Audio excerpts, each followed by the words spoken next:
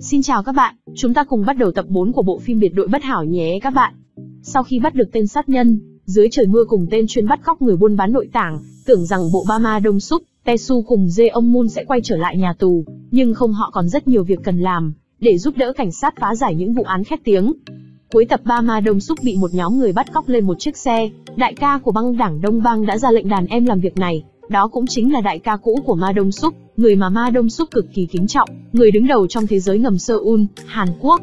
Đại ca Đông Bang bắt Ma Đông Súc về nhằm yêu cầu anh tiêu diệt một người, đó chính là Jeong Moon, một đồng đội thông minh trong nhóm biệt đội bất hảo. Lý do đại ca Đông Bang yêu cầu Ma Đông Súc làm việc này là vì có người nhờ ông làm việc này, người đó cực kỳ tức giận về việc anh trai Jeong Moon đã sát hại cô con gái của ông. Đại ca Đông Bang cho Ma Đông Súc thời hạn 2 tuần để ông thực hiện viện này, không cần biết là ma đông xúc chính tay ra tay hay là đứng đằng sau giật dây cho việc này xảy ra. Nếu trong vòng 2 tuần ma đông xúc không khiến cho dê ông Moon bị tiêu diệt, thì người bị tiêu diệt sẽ là ma đông xúc. Sau khi nói chuyện và thương lượng thành công, thì đại ca Đông Bang thả ma đông xúc về, để tiếp tục cuộc hành trình bắt những tên tàn ác trong xã hội. Tất cả mọi người đều tò mò ma đông xúc đã đi đâu, nhưng với kỹ năng nói dối hơi bị cừ, anh nói rằng mình bị lạc, ba la ba la, ban đầu bọn họ cũng không tin lắm, nhưng kệ, tìm hiểu để làm gì, Nhiệm vụ lần này của biệt đội bất hảo là triệt phá đường dây chuyên buôn bán nội tảng lớn nhất tại Hàn Quốc. Wu Tách đưa ra một loạt danh sách những tên cầm đầu, cảnh sát biết vị trí của chúng, nhưng chưa thể tóm gọn chúng vì thiếu bằng chứng.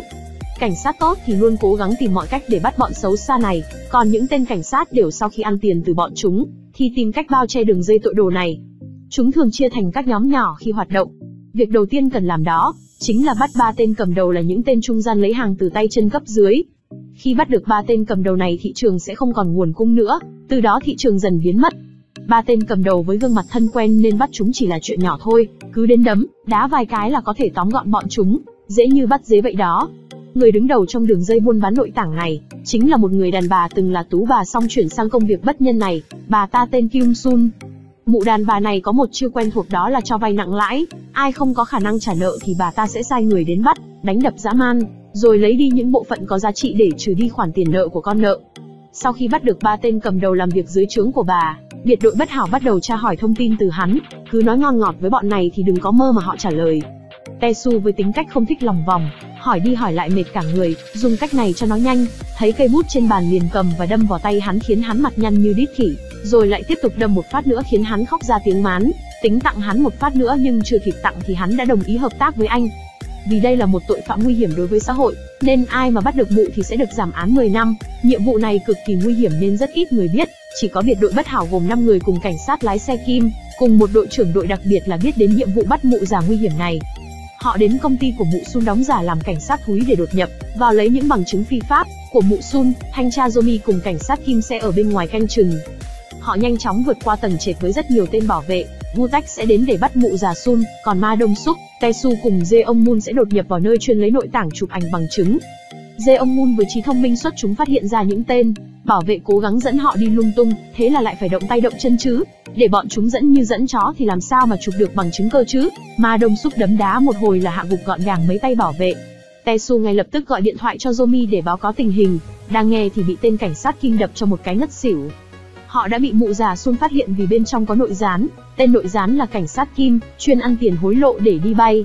Hắn đã tiết lộ bí mật đột nhập của biệt đội bất hảo cho mụ Sun. Mụ Sun ngay lập tức thực hiện kế hoạch của mình, ra lệnh đóng toàn bộ cửa ra vào, ngắt kết nối mạng internet và thông báo cho tất cả đàn em đến bắt bốn người bọn họ, ai bắt được sẽ được thưởng tiền công hậu hĩnh cùng vị trí làm việc chất lượng, với mức lương cao ngút. Thấy tiền thấy lương là tay chân không thể đứng im được, bọn tay sai ngay lập tức cầm vũ khí đến để đánh bốn người bọn họ. Tên đội trưởng đội đặc biệt cũng là tên lính quèn được mụ Somo chuộc bằng tiền, nên đã đến và tìm cách tiêu diệt Vu Tách cùng động đội. Hắn chỉ dùng dao, không dùng súng, vì súng sẽ bị phát hiện. Ma Đông Súc đang đi thì đột nhiên bị đánh lén. Sau cú đánh lén là vô số cú đập gậy bóng chảy. Dê ông Môn thấy vậy liền xông ra để giúp đỡ Ma Đông Súc, nhưng đen thay vừa vào đã bị tên côn đồ đâm một nhát. Ma Đông Súc nhân cơ hội đứng dậy, đấm đá liên hồi vào mặt những tên cầm gậy bóng chảy, rồi ngay lập tức dìu Dê ông Môn tìm nơi ẩn nấp, vô tình vô phải căn phòng chuyên lấy nội tảng, đưa dê ông Moon vào một nơi để ẩn nấp, rồi tiếp tục ra ngoài làm nhiệm vụ. Ngay lúc này thì tên đội trưởng Điều cũng đã đến, thấy vết máu và lần theo vào nơi ẩn nấp của dê ông Moon. Ma Đông Súc bên ngoài thấy vậy nhớ lại nhiệm vụ đại ca Đông Bang yêu cầu, tiêu diệt dê ông Moon bằng mọi giá, dù có ra tay hay, không chỉ cần dê ông Moon bị tiêu diệt là hoàn thành nhiệm vụ, nếu không người bị tiêu diệt chính là anh. Ma Đông Súc ban đầu tính để tên đội trưởng đều làm việc này, nhưng suy nghĩ lại tình động đội, tình anh em, và cũng vừa được dê ông Moon cứu, nên đã quyết định xông đến để đấm cho tên đội trưởng điều cùng lính của hắn một trận. Tên đội trưởng điều đánh không lại tính dùng súng để tiêu diệt Ma Đông Súc, rất may anh trai Tesu đã đến kịp thời cướp lấy súng và đập hắn té lăn quay. Cả hai phối hợp ăn ý đấm đá một hồi là hạ gục tất cả những tên lính của tên đội trưởng đều.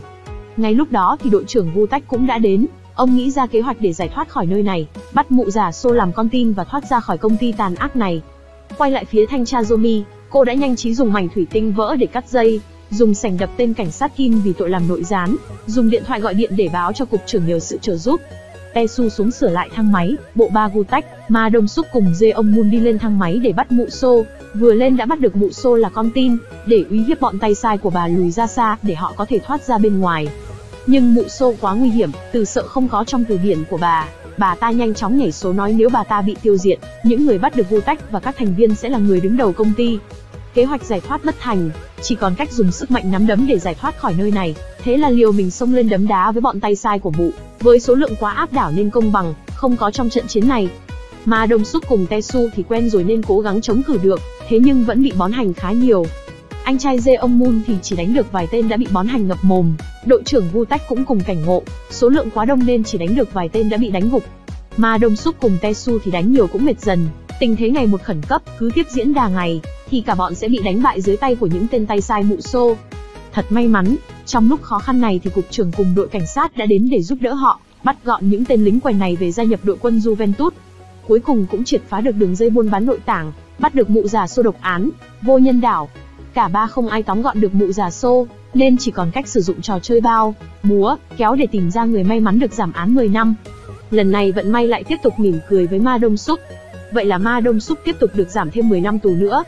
Như vậy là đã kết thúc tập 4 phim biệt đột bất hảo rồi. Các bạn thấy tập phim này Ma Đông Súc như thế nào? Cùng bình luận bên dưới video nhé. Cảm ơn các bạn rất nhiều.